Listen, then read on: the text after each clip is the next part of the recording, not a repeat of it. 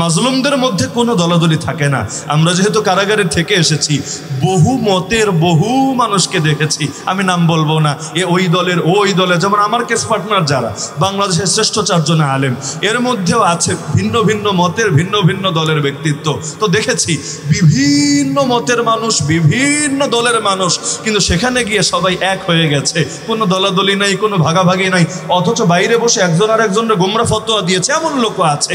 এর বিরুদ্ধে ফতোয়া, ওর বিরুদ্ধে ফতোয়া। এখন এক থালায় খায়, একসঙ্গে ঘুমায় আর পরিকল্পনা করে কীভাবে আগামীর বাংলাদেশকে, ইসলামের বাংলাদেশ বানানো যায়, আগামীর বাংলাদেশকে, কোরআনের বাংলাদেশ বানানো যায়। তখন দিলটা খুলে গেছে যে জালেমদের পক্ষ থেকে জুলুম শুরু হলে ঐক্য এমনিই তৈরি হয়ে যায়, এমনি যতই চিল্লায় ঐক্য হবে না। এমনকি জেলখানায় চোররেও কেউ ডরায় না, কারণ জানে এখানে অন্তত চুরি করবে না। ডাকাত যে, খুনি যে, ধর্ষক যে, তাদের নিয়েও কোনো ভয় কাজ করে না। আরে যে ডাকাতি করেছে আর যে সাধারণ মানুষ চিরকাল ডাকাতকে ভয় করে এসেছে, এক থালায় খায়, এক লঙ্গে, এক লগে সুখ দুঃখের গল্প করে, এমনি জীবনটা কাটতে থাকে। তো মাজলুমদের হালতটা এমন, মাজলুমের কোনো দল থাকে না, মাজলুমের কোনো ধারা থাকে না, বরং তারা কীভাবে এই জুলুম থেকে পরিত্রাণ পাবে, সেটা নিয়ে ফিকির করতে থাকে। তা আমি এটা তামান্না করি না যে আমরা যেমন মাজলুম হয়েছি, সকলে মাজলুম হোক, তবে আমি তামান্না করি বা না করি, হাদিসের আলোকেই তো বোঝা যায়, কেয়ামত যত ঘনিয়ে আসবে, জুলুমের মাত্রা তত বাড়বে। আল্লাহ রসুল বলেন, কেয়ামতের একটা আলামতি এটা ওয়াক সুরাল হার্জ, কিল আমাল হার্জ রসুল আল্লাহ কাল আল কাতরু আল কাতল। কেয়ামতের একটা আলামত রসুল বলেছেন, প্রচুর পরিমাণ হত্যাকাণ্ড বৃদ্ধি পাবে, এত বাড়া বাড়বে, লা ইয়াদরিল কাতিলু ফিমা কাতাল ওয়ালাল মাকতুলু ফিমা কুতিল, যে মারবে সেও টানবে না, কেন মেরে ফেলছে, যারে মারা হবে সেও জানে না। কেন তারে মারা হচ্ছে? আজকেও অনেক ক্ষেত্রে এমন অবস্থা। সাধারণ সৈনিক, সাধারণ কনস্টেবল, সে জানে না কেন তাকে গুলির আদেশ দেওয়া হয়েছে, যার বুকে গুলি চালানো হয়েছে, সেও টের পাচ্ছে না। কোন অপরাধে তাকে মেরে ফেলা হয়েছে? অথচ সে আল্লাহ তার রসুলের ভালোবাসাই রাজপথে এসেছে। তো এখন যে প্রসঙ্গে বলছিলাম যে আল্লাহ দোয়া শিখিয়েছেন ও জালনা আলিল মুত্তাকিনা ইমামা হে আল্লাহ, মুত্তাকিদের নেতা বানিয়ে দেন। বলবেন, নেতা হওয়ার দোয়া আল্লাহ কেন শেখালেন? কারণ রে ভাই, যতই কথা বলেন, আমরা ক্ষমতা চাই না। আমরা পাওয়ার চাই না। আমরা চাই খালি অধীনস্থ হয়ে থাকতে। আমরা চাই খালি গোলাম হয়ে বাঁচতে। এভাবে মিষ্টি মিষ্টি কথা বলতেই সুন্দর, বাস্তবে সুন্দর না। আল্লাহ রসুল সাল্লাহ সাল্লাম ক্ষমতা চেয়েছিলেন নাকি চান নাই? ক্লিয়ার বইলা ফেলান, চেয়েছিলেন নাকি চান নাই? নিজের জন্য চেয়েছিলেন না দিনের জন্য চেয়েছিলেন? নিজের জন্য কিছুই চান নাই। অফার দিয়েছে ফেরেস্তারা রসুল অনুমতি দিলে পাহাড়গুলোর সোনার উপর পাহাড় বানায় দিব। নেন নাই। এমনকি ক্ষুধার জ্বালায় পেটে পাথর বেঁধেছেন, সবর করেছেন। মাস পার হয়ে গেছে, ঘরে চুলা জ্বলে নাই, সবর করেছেন। সারা জীবন একটা বার নরম, মোলায়েম, কোমল দুটি খান নাই, সবর করেছেন। যেই বিছানায় শুয়েছেন, পিঠের মধ্যে দাগ পড়ে গেছে। বিছানা শক্ত হওয়ার কারণে সবর করেছেন। নিজের জন্য চান নাই, কিন্তু দিনের জন্য ঠিকই চেয়েছেন।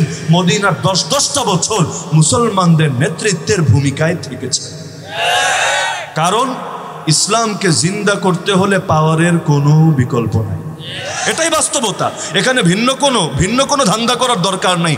আল্লাহর কথা গোপন করলে নিরাপত্তা পাবেন, আর আল্লাহর কথা বলে দিলে ঝুঁকিতে পড়বেন।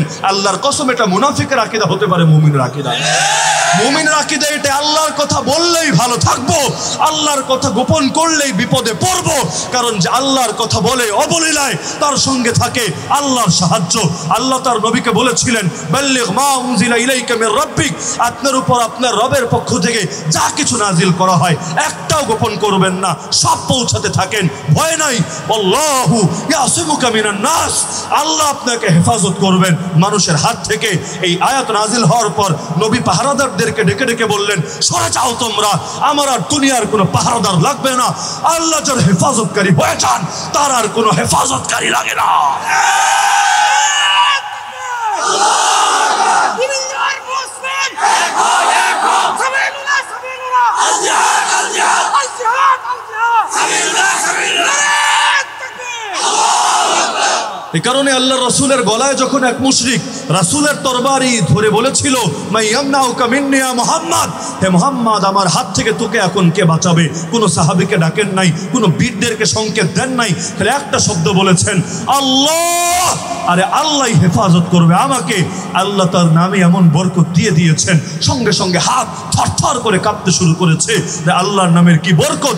একবার যদি জাতি বুঝতো, আল্লাহর খলিফা মাহকে যখন আসবেন, বিশাল বাহিনী নিয়ে কনস্টান্টের উপরে যাবেন, যুদ্ধ করা লাগবে না।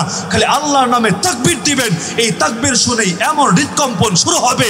একজন আর সাহস করবে না। মুসলমানদের মোকাবেলায় ময়দানে নামতে, তরবারি ফেলে, তীর ফেলে, যে যার মতো করে ভাগবে, বাকিগুলো সারেন্ডার করবে। এক তাকবীর এই পুরো শহর জয় হবে। আজকে দুইশো কোটি মুসলমান, মাত্র আশি লাখ ভয় পায়। আশি লাখ ইহুদির উপরে কবে আবাবিল আসবে? এই দুইশো কোটি মুসলমান বসে অপেক্ষা করে। অথচ কোথায় দুইশো কোটি? কোথায় মাত্র আশি লাখ?